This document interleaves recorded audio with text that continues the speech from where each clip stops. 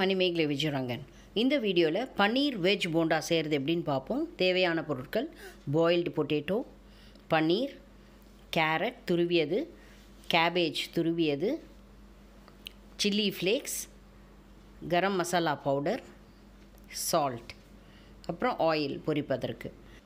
ஒரு பவுலில் ஒரு கப் கடலை மாவு அரை கப் அரிசி மாவு எடுத்துக்கோங்க.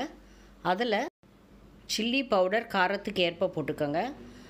ஒரு பிஞ்ச் பெருங்காயம் உப்பு தேவைக்கேற்ப அப்புறம் கொஞ்சோண்டு பேக்கிங் சோடா ஒரு பிஞ்ச் போட்டு இந்த பேட்டர் ரெடி பண்ணிக்கோங்க. ஒரு கடாயில் கொஞ்சமாக எண்ணெய் ஊற்றிட்டு கேபேஜ் கேரட் ஃபஸ்ட்டு போட்டு நல்லா வதக்கிடுங்க. அது வதங்கினதும் இந்த பாயில்டு பொட்டேட்டோஸ் எடுத்து அதில் போட்டு நல்லா கரண்டியாலே மசிச்சு விடுங்க. ரொம்ப மாவு மாதிரி மசிக்க வேண்டாம். சில்லி ஃப்ளேக்ஸ் யூஸ் பண்ணுங்கள் அப்படி சில்லி ஃப்ளேக்ஸ் பிடிக்கலன்னா நீங்கள் மிளகாத்தூள் கூட போடலாம். அப்புறம் கரம் மசாலா பவுடர் உப்பு இந்த பன்னீர் எல்லாத்தையும் போட்டு பன்னீரை கொஞ்சம் லாஸ்ட்டாக போடுங்க. போட்டு நல்லா கலரி உருண்டைகளாக ஃபார்ம் பண்ணி வச்சுக்கோங்க. பிறகு அந்த பேட்டரில் ஒவ்வொரு உருண்டையும் நல்லா டிப் பண்ணி அந்த பேட்டரில்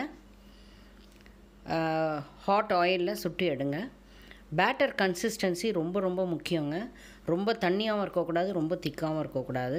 அது மட்டும் பார்த்துக்கோங்க. ஏன்னா அப்போ தான் கிறிஸ்பியாக நல்ல டேஸ்டியாகவும் இருக்கும். இதை கண்டிப்பாக ட்ரை பண்ணுங்கள் இது ஹெல்தியான ஸ்நாக் கூட. எல்லா வெஜிடபிள்ஸையும் வச்சு செஞ்சு கொடுக்கலாம் குழந்தைங்களுக்கு.